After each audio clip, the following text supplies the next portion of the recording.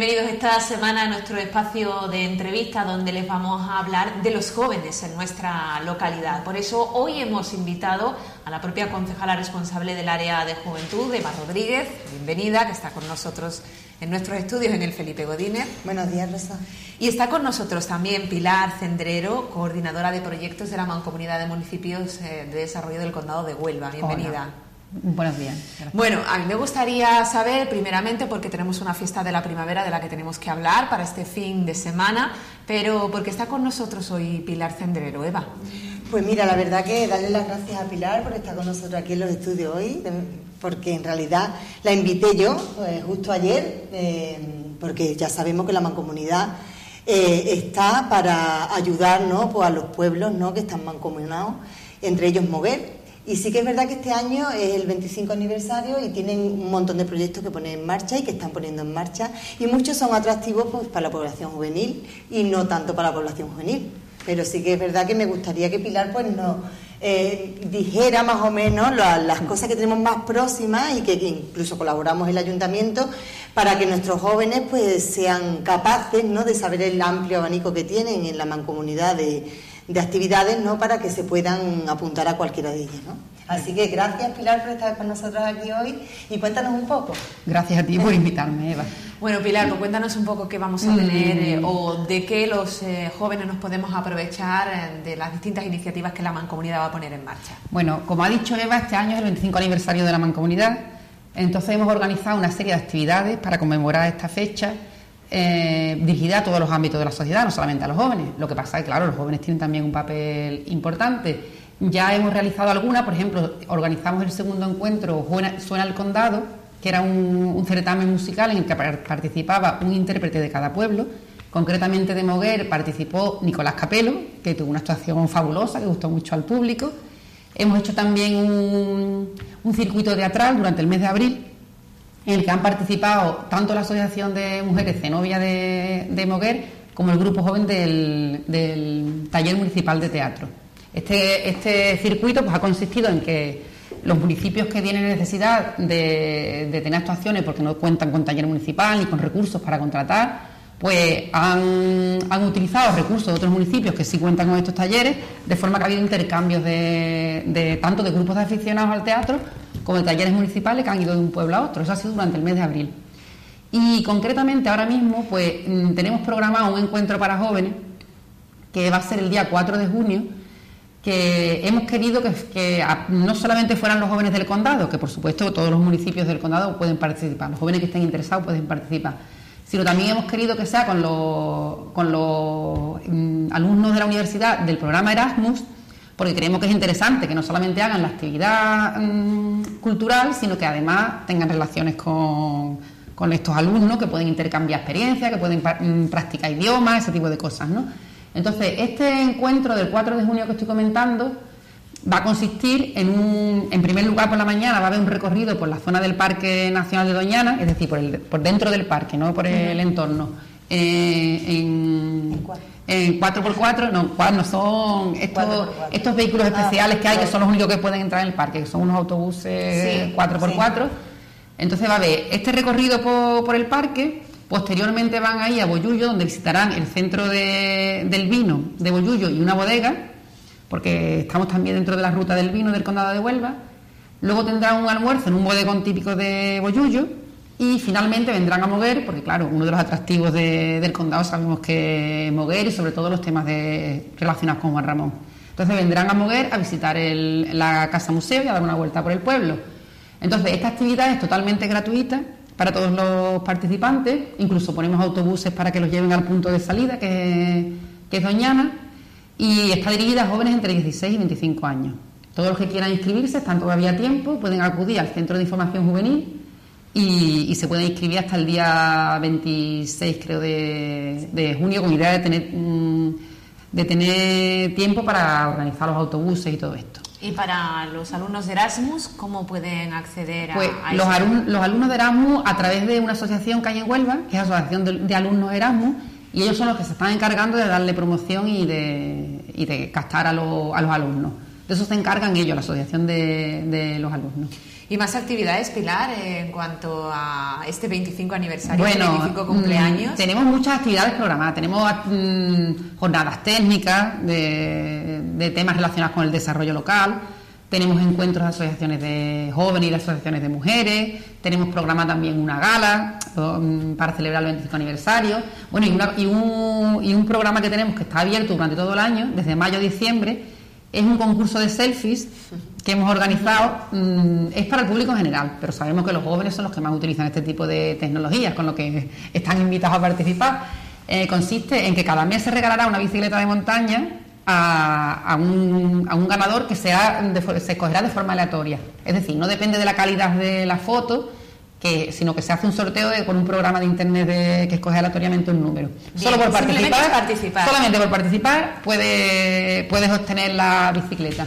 Como digo, cada mes será una y, cada mes es una temática distinta. Este mes de mayo, como es lógico, pues la temática es las romerías, el rocío y los romeritos de las cruces, todo ese tipo de fiestas.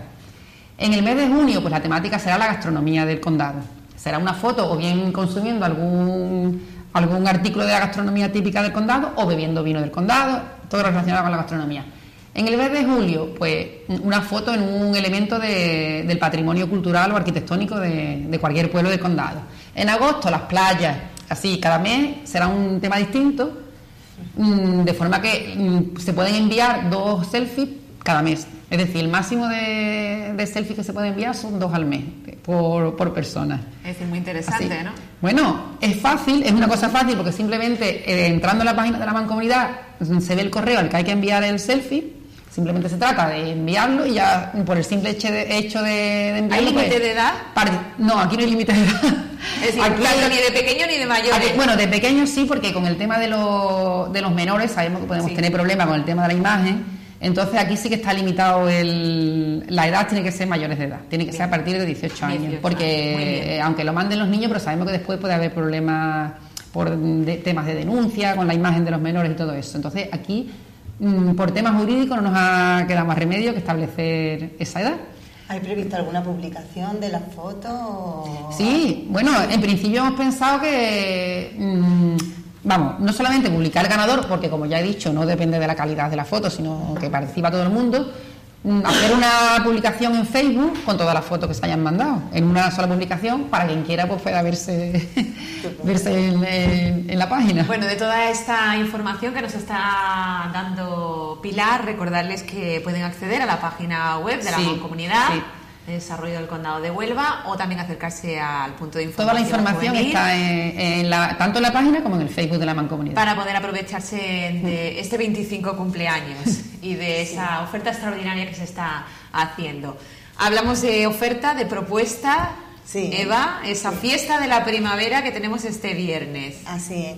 Eh, esto es el resultado de esta fiesta ya venía programada en la Semana Joven, como todos saben, de este año, y sí que es verdad que el mal tiempo nos, jugó una mala pasada, como en tantas otras actividades de este año. Y nada, el mal tiempo hay que ponerle buena cara, ¿no? Y mm, intentamos, pues, posponerla, la, hemos pospuesto hasta el día 27. Y sí que es verdad que eh, anunciaron nuevamente que posiblemente podía haber lluvia, sino el viernes o el sábado. Em, no nos lo podíamos creer directamente. Dijimos, no puede ser que en mayo a finales también nos vaya a llover, ¿no?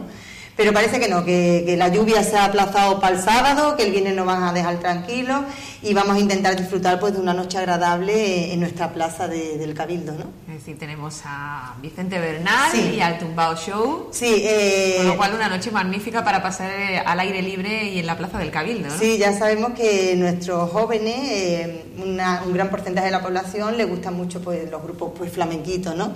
Y por eso contamos con Vicente Bernal que nos va a hacer una actuación de canciones pues populares, ¿no?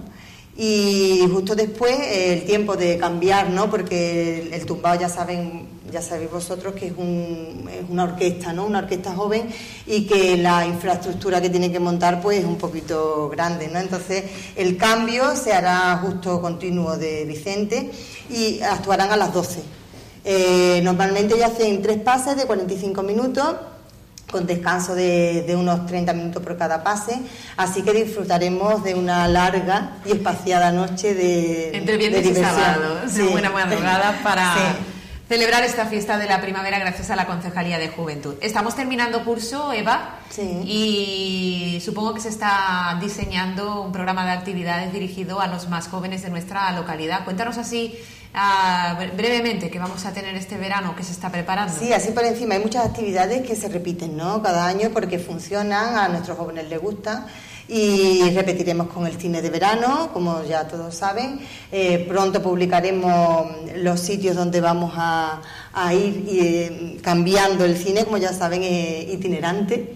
Y mm, también eh, haremos, repetiremos con la jornada de deporte acuático, que normalmente lo hacemos en Islantilla. Ya contamos con una empresa allí en Islantilla que es profesional a, nivel de deporte acuático y que en realidad no lo podemos hacer por las playas de Mazagón porque no hay ninguna empresa a día de hoy que, pueda cubrir esas necesidades, ¿no? Así que visitamos la playa de Islantilla en julio y en agosto. Eh, también tenemos eh, idea de hacer un senderismo que fue eh, demandado por nuestros jóvenes, el Caminito del Rey, en septiembre. Ya tenemos también fechas, finales de septiembre. Por supuesto, em, ya saben, el Salón Manga en octubre, todas, hay actividades programadas que son todos los años y que las vamos a seguir manteniendo. Este año, en agosto, queremos celebrar el Día de la Juventud. Mm, todavía no tenemos más o menos em, la idea de qué vamos a hacer, será una sorpresa, no adelantaron nada más que estamos preparando algo para los jóvenes. Y así, curso de formación también queremos poner en marcha a partir de septiembre.